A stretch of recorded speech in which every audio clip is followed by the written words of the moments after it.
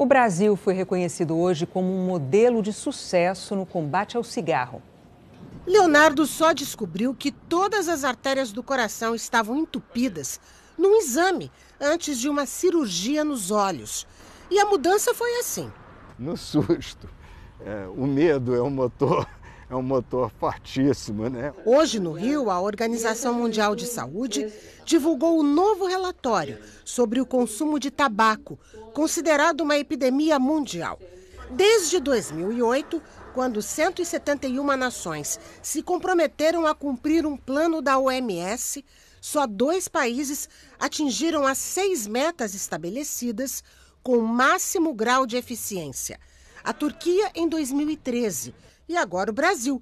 Entre as medidas alcançadas estão ambientes livres de fumaça, programas públicos de ajuda para se libertar do vício, campanhas sobre os perigos do fumo para a saúde, restrições na publicidade das marcas de cigarro, pesquisas sobre o consumo.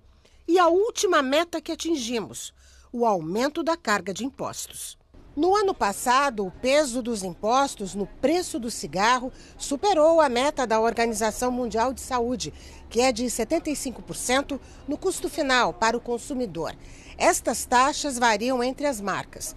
Neste caso, é considerada a marca mais vendida e os impostos correspondem a 83% do preço de cada maço desta marca. Há 13 anos, quase 16% da população tinham este vício. No ano passado, a porcentagem caiu para 9%, uma redução de 40%. Nós devemos ter redução dos nossos gastos em saúde pública com doenças causadas pelo tabagismo, que passam por cardiovascular, passam por câncer de bexiga, boca, lábio, pulmão, laringe. O Brasil começa agora a colher os frutos dessa redução. E para continuar neste caminho é preciso vontade para manter o que já foi conquistado.